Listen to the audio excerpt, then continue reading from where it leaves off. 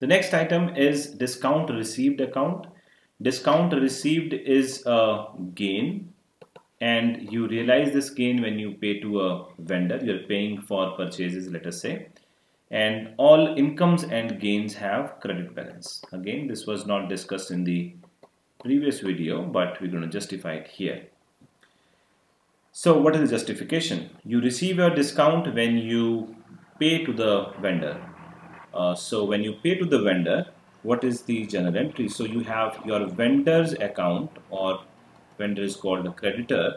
So creditor's account is debit.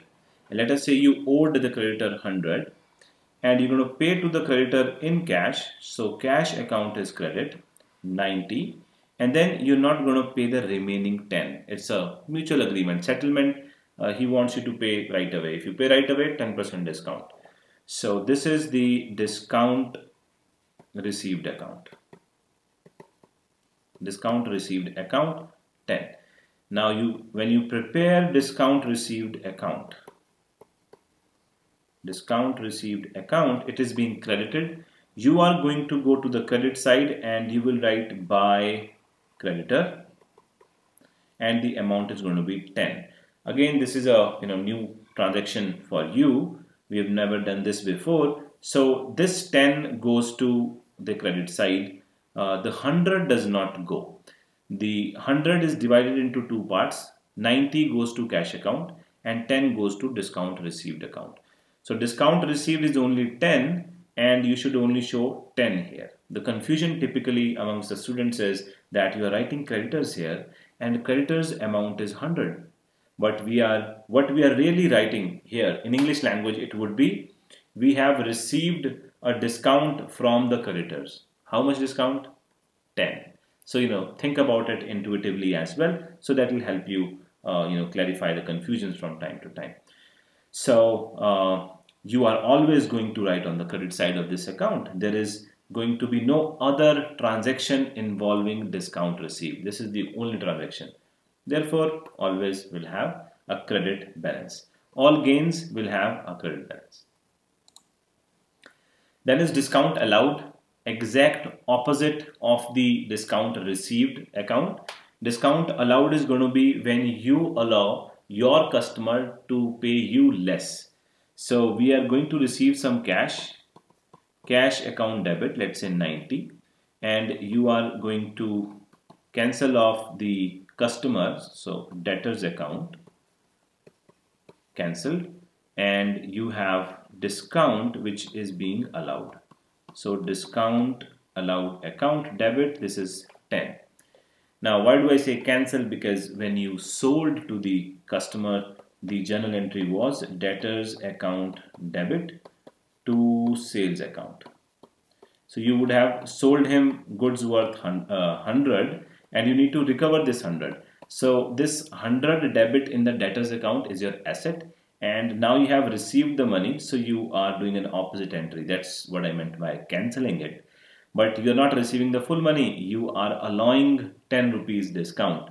So when you pre uh, prepare discount allowed account discount allowed account you are going to go to the debit side because discount allowed is being debited. You go here and you're going to write the name of the other account which is being credited. So you will write two debtors and the amount is only going to be equal to 10 because discount uh, allowed is going to be debited by 10 so discount allowed account debited by 10 because debtors have been given a discount.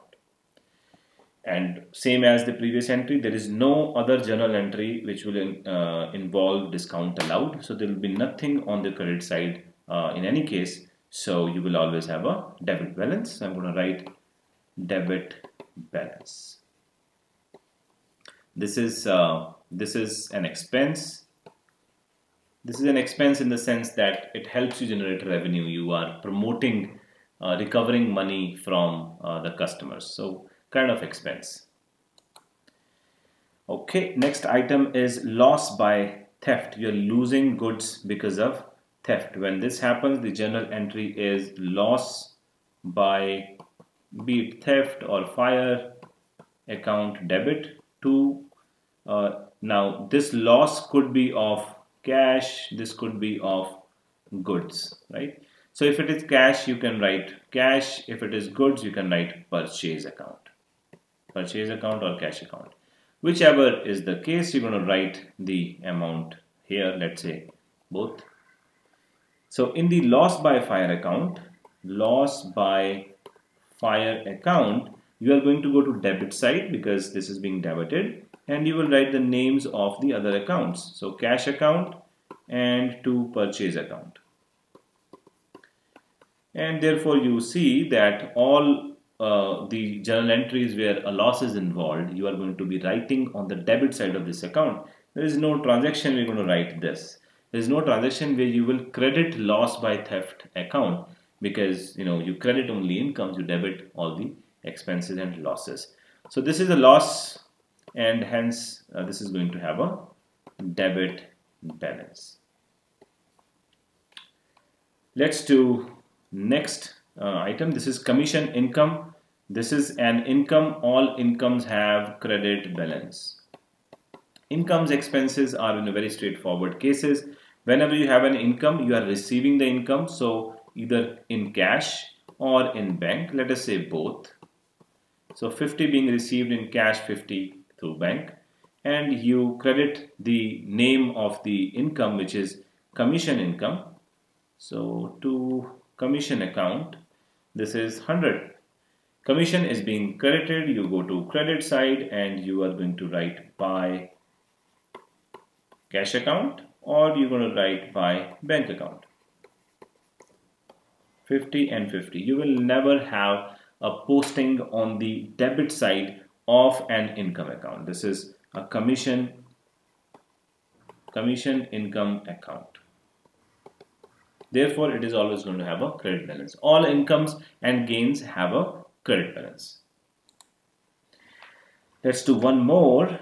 Carriage on purchase. Carriage is transportation expense. So when you pay the carriage, the journal entry is carriage account debit to cash account or you can pay through bank this is an expense.